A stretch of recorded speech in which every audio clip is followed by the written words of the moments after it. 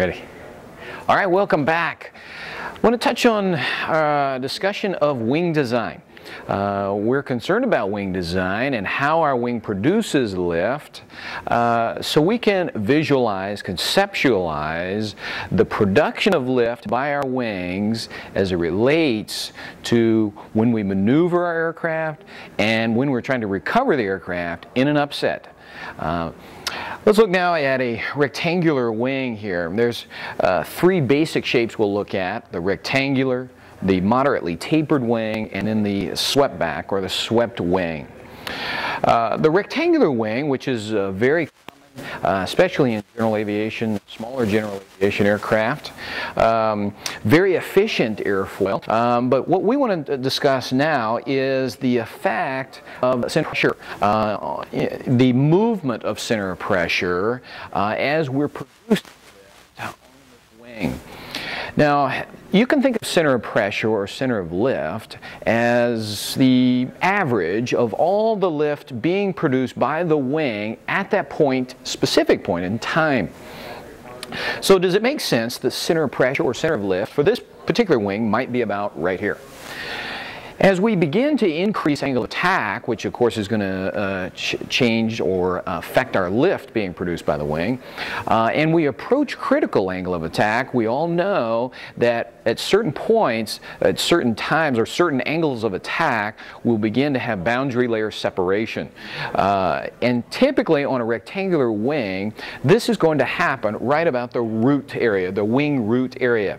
We begin to lose boundary layer separation and lift production is dramatically decreased or lost in on this portion of the wing.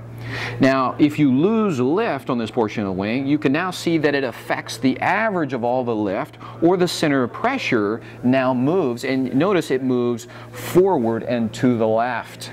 This is important for us to understand because now our lifting moment arms have changed on the wing, which is now going to affect our controllability and stability of the airplane. Notice uh, that also this, this turbulent airflow, where is it going? Well, it's going back back across the tail, hitting the empennage and tail feathers. And this is, of course, typically the buffet that we feel as we're approaching the high angles of attack around stall. Look at the moderately tapered wing. Where does it going to happen? Well, it's actually going to happen a little farther outboard. Notice now that ailerons are being affected. Once again, center pressure going to move forward in this uh, particular case. What about a swept wing? Well, the swept wing, you're going to get boundary layer separation out at the tip first, typically. Uh, and notice certainly ailerons uh, are going to be affected. And notice that the uh, center of pressure is moving inboard and forward. And as it moves inboard and forward, it's even moving uh, forward at a greater longitudinal ratio compared to the rectangular wing.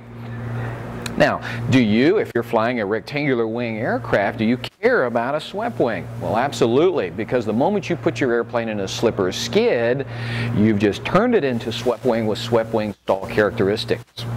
Once again, having an understanding of how center of pressure moves as we change our angle of attack is very important in our understanding of effective and efficient upset recovery uh, techniques.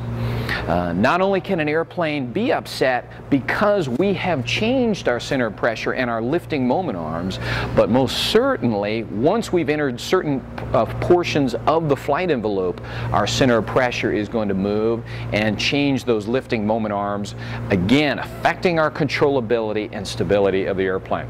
We go into greater detail in understanding these principles at APS Emergency Maneuver Training because we're trying to teach you and give you some tangible and um, uh, tangible and uh, direct uh, skills with which uh, to recover an airplane. And these academics are going to provide the foundation on which you understand why we're doing what we're doing in the airplane. More to follow. Thanks for